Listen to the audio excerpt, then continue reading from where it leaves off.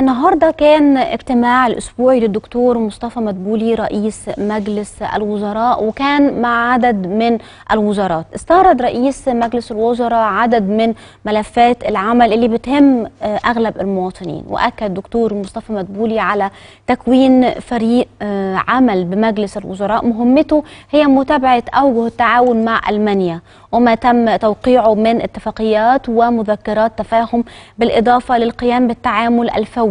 مع أي مع, آه، مع أي معوقات قد تواجه المستثمرين والعمل على حلها.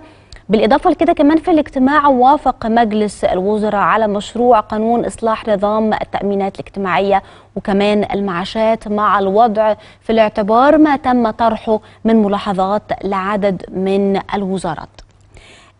من ضمنه كمان ما تم في هذا الاجتماع الأسبوعي وافق مجلس الوزراء على مشروع قانون الإجراءات الضريبية الموحد مع الأخذ في الاعتبار ما أبداه بعض الوزراء من ملاحظات. وجاء القانون آه، 82 مادة مقسمة على 10 أبواب. يأتي مشروع قانون الإجراءات الضريبية الموحد لينظم إجراءات ربط وتحصيل الضريبة على الدخل والضريبة على القيمة المضافة ورسم تنمية الموارد المالية للدولة وأيضا ضريبة الدمغة وأي ضريبة ذات طبيعة مماثله أو تتفق في جوهرها مع هذه الفرائض المالية أو تحل محلها.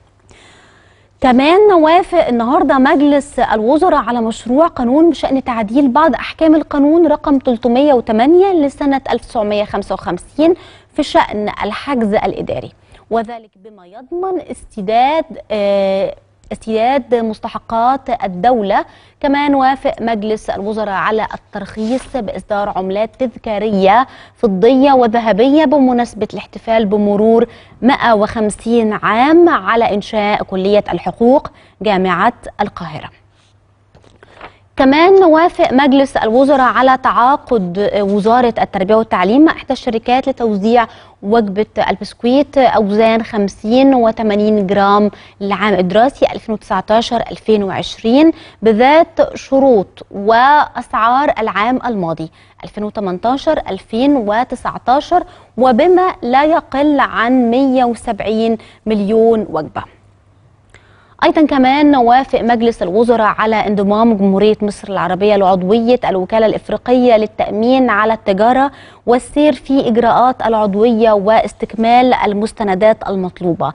يأتي ذلك في إطار تعظيم دور الدولة الاقتصادي على المستوى الإفريقي تزامنا مع تولي جمهورية مصر العربية رئاسة الاتحاد الإفريقي والذي يسعى نحو تحقيق التكامل الاقتصادي الإفريقي وأيضا خلق بيئة مواتية للتجارة الخارجية وجذب المزيد من الاستثمارات.